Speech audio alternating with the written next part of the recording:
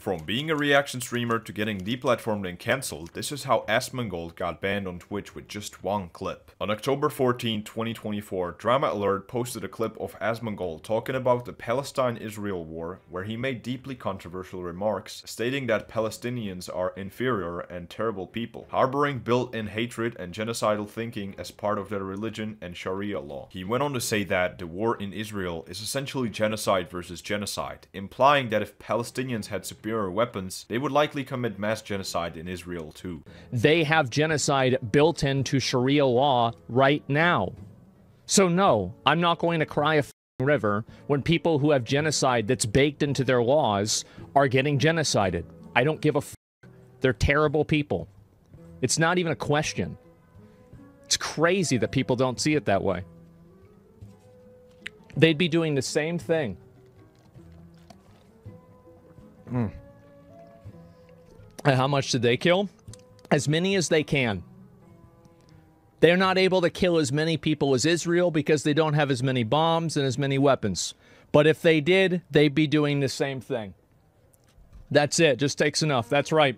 These people are not your allies. They are not the same as us.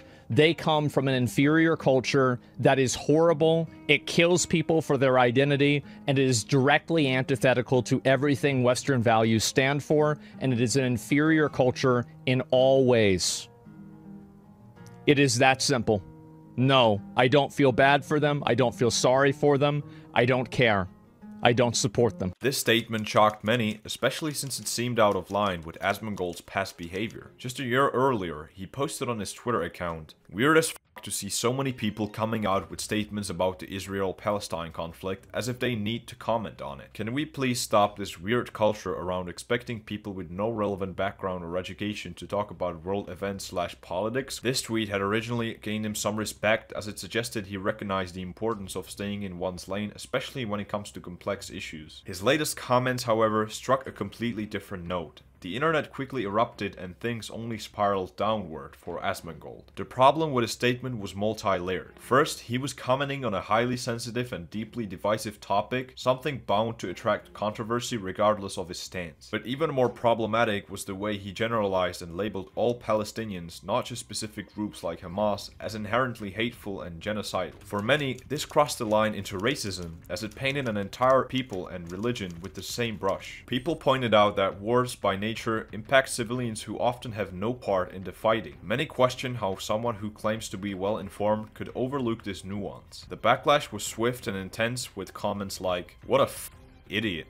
Did this guy just call an entire ethnic group inferior to his? Is that not ban-worthy? This is his room by the way. Even major creators weighed in. Fousey, a kick streamer, posted, You support genocide, no way around that argument. In my opinion, the take is so bad he should be punished, but he won't because he's the part of the protected fairies on the internet. Free Palestine till it's backwards. With mounting pressure, on October 15th, Asmongold issued an apology, acknowledging that his comments were out of line and that his viewers deserved more than reckless statements. He posted on Twitter, looking back on it, I was way too much of an about the Palestine thing. My bad. Of course, no one deserves to have their life destroyed, even if they do things or have views I find regressive. You guys deserve more than me saying stupid like that. I'll do better. However, many felt the apology wasn't enough. People were quick to point out the hypocrisy in his action just a year earlier. He'd advocated for staying silent on political matters, yet now he was making incendiary statements about one of the most volatile conflicts in the world. Some of the comments read, You just violated your golden rule of never apologizing.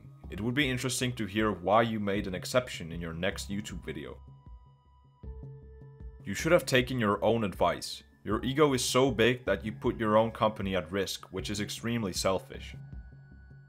No, say I'm sorry, not my bad. About the Palestine thing. You mean justifying genocide? Rot in hell. To make matters worse, Asmongold's PC company Starforge Systems began to feel the heat. One of their partners publicly ended their relationship tweeting, I am no longer partnered with Starforge Systems PC. I have requested my code be removed from usage after a year of partnership due to the comments made by Asmongold, one of the owners. I have Muslim friends from that region, and I cannot represent that product after his comment. This was a turning point. What started as a streamer's offhand remarks was now impacting his business madness. Other streamers and creators joined in, calling for his deplatforming. Sneako, for instance, posted, if he said the same about the other side, his bank account would be locked.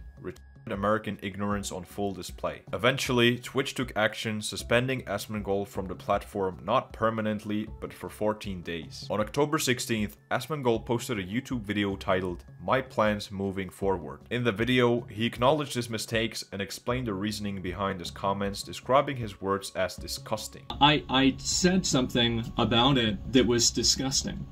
I said that I didn't care about innocent people getting killed by another force by anything. And I think that that's a horrible, disgusting, mean spirited thing to say. Asmongold went on to clarify that while he opposes religious extremism, he had failed by lumping all Palestinians together. A lot of us here can easily say that we're against religious extremism, and I am. But whenever I categorize everybody in the area as this like group, uh, then I'm the asshole, and I was the asshole. I had a lot of you guys tell me that. He admitted that his life had been going downhill for the past two years, and this controversy served as a massive wake up call for him. I think this has been going on now for like two years. I think that I've been slowly devolving into the most mean spirited, uh, just uh, like, like I don't really even know what the word is for it. Uh, just like the most mean spirited, rude, like nasty, uh, like just callous, uh, psychopathic version of myself. I, I think that I've been devolving into this. And a lot of my friends have told me this. My dad has told me this. He said, You've got to chill out. You've got to calm down. I've been like, Oh, he's, that old man doesn't know what he's talking about. And I've finally had some level of accountability for that and thank God. Asmongold also shared that Islamic viewers, including those with family in Palestine, had reached out to him personally, helping him understand the gravity of his remarks. Do you know who reached out to me? And uh, they uh, wanted to talk and have a conversation and see if I was okay. It's people that were Islamic and people that were had fucking family in Palestine. And I've. how humiliating is that? How absolutely humiliating is that? And these were the people I was trying to say were, were, were bad. He reiterated that his intention was to criticize extremism, not the religion or people as a whole, but he recognized that he had communicated it poorly. I, I think that it's extremely fair to criticize uh, religious extremism, and I think that it's extremely unfair to categorize everybody in part of that group as religious extremists. I think it is, and I'm, I'm really sorry for that.